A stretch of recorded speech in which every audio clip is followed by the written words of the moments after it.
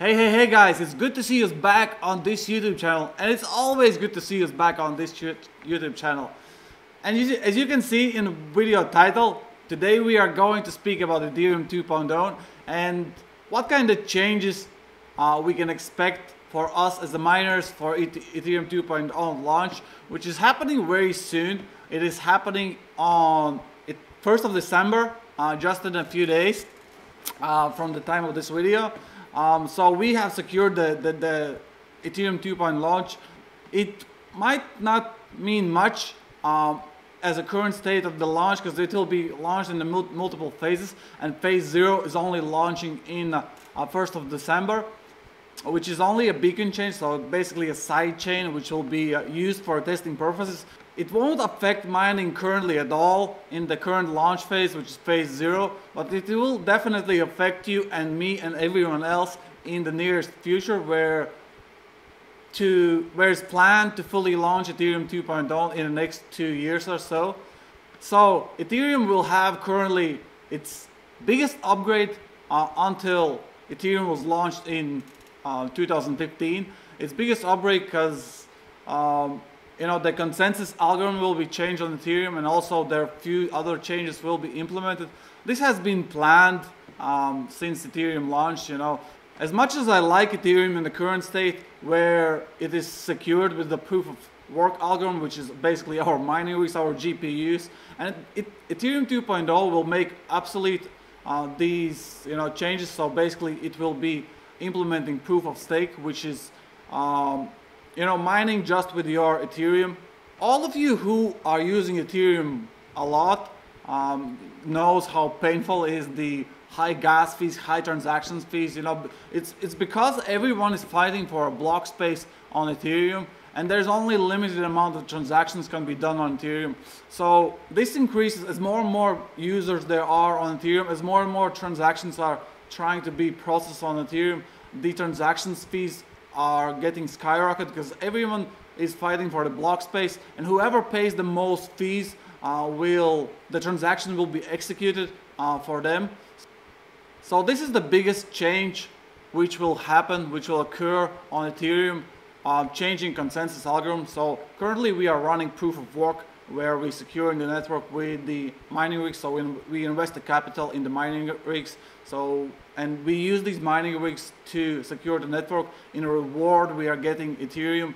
Um, where in proof of stake you will have you will need a minimum 32 ETH to launch a validator node. So you basically will need to run software 24/7 to secure the network, and you are you know securing this network with the capital 32 ETH and you basically will receive the same mining rewards as you're now getting um, mining re rewards from the mining rigs. You will get the same, um, you know, mining rewards from your, you know, from your capital. You know, it's basically the same thing.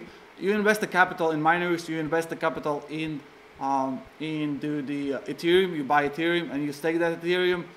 So the proof of stake has been out uh, for a while already. It's nothing new. Um, Ethereum has been speaking about the proof of stake since they launched their network into 2015 and we're trying to implement this upgrade uh, you know for the last few years already. But finally we seems that we have agreed consensus and the Ethereum 2.0 is launching. And you know you want it or not it will happen. So the other thing which will make this possible will be integrated which is called sharding I will try to explain this in my own words, what I mean by sharding. Uh, and as far as I understand, so basically, you know, the sharding is like um, a country, you know, where Ethereum 2.0 is the, the you know, the, the country, the government. And then the, the, the shards are like uh, states um, divided the country, which makes the country to functional more efficiently. So this is the same thing here, where you know, when Ethereum 2.0 will launch, so Ethereum basically will stay in the one of the shards, which will be one of the states, uh, as Ethereum we know in the current state. I think the Ethereum 2.0 staking won't be for everyone because it's quite pricey um, because you need 32 ETH to have a one validator. Um, like in currently on, you can start mining Ethereum with one graphics card, you know, 300 euro or so, where onboarding on Ethereum 2.0 is a lot more expensive and also riskier. Like if your mining rig currently is offline, you don't lose anything. You just lose the mining rewards, which you potentially would have if your mining rig was on. But on Ethereum 2.0, if you have a validator, and if your validator is offline, you are basically uh, penalized, which is I think called slashing. So you basically there's ETH is being deducted uh, from your mining rig, you know, from your 32 ETH. So when do we really expect the Ethereum 2.0 launch and affect the mining? Mining currently won't be affected at all with a phase zero launch. It's, phase zero is only for testing purposes, as far as I understand. And uh, you know, it seems like it's still uh, very far in the future for fully functional ETH 2.0, which is expected probably in the two years. So there's still a good bit of mining um, ahead, but you have to probably start thinking about what you're gonna mine after then, what you're gonna do with your mining rigs when Ethereum 2.0 launches. So currently it's only phase zero is launching on uh, 1st of December. Uh, the next one is I think it's here Ethereum 1 phase zero, which is basically will be hybrid, uh, one block proof of stake and then 60 blocks um, a proof of work and then 1.5 and then 2.0 a phase 2.0 will be fully functional uh, Ethereum 2.0 where basically you know the mining rig uh, won't be in such form as we currently know it. So I will be trying myself also the e 2.0 validator and probably will update this on, on this YouTube channel, how to set it up, how to maintain, you know, will I get penalized, uh, will I get some mining reward from it, because the profitability seems quite nice currently, you know, the profitability goes down if more and more Ethereum has been deposited Ethereum 2.0 um, staking contract. You know, as more as more Ethereum is staked, the, the percentage APY is going down. So currently, if only 524,000 uh, Ethereum is staked, which was the minimum to launch the Ethereum 2.0 beacon chain, and 524,000 Ethereum was successfully deposited into the uh, Ethereum 2.0 staking contract. It's a little bit more that it's close to 820,000 Ethereum already. So if more and more Ethereum has been deposited and the more and more validators has been launched for Ethereum 2.0, the mining rewards basically go down. And if there's less and less, the mining rewards, you know, the, the biggest I think it's 20% uh, um, from your 32 ETH uh, yearly. There's also very big downside uh, for launching your Ethereum 2.0 wallet or now. Just because it is one-way ticket, if you are sending your current Ethereum to Ethereum 2.0, it's one-way ticket because you won't be available to redeem your Ethereum in the next few two years until the ETH 2.0 is fully launched. Only then you will uh, possible to retrieve your Ethereum. And I think it's a big downside because it could potentially have a big hit on Ethereum price when Ethereum 2.0 launches because there will be a lot of uh, Ethereum unlocked which all will be deposited in the Ethereum contract and also the staking rewards on top of that.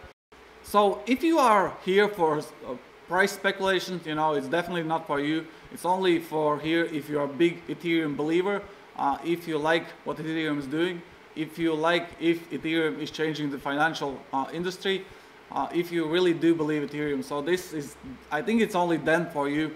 Of course, I have seen there's many kind of different services, which is basically will offer you tokenized stake. So you deposit your Ethereum to Ethereum 2.0, and in that you receive, in return, you receive uh, some tokens, which will be equal to your stake on Ethereum 2.0 and you can use those tokens um, you know you can trade these tokens on current Ethereum 1.0 chain.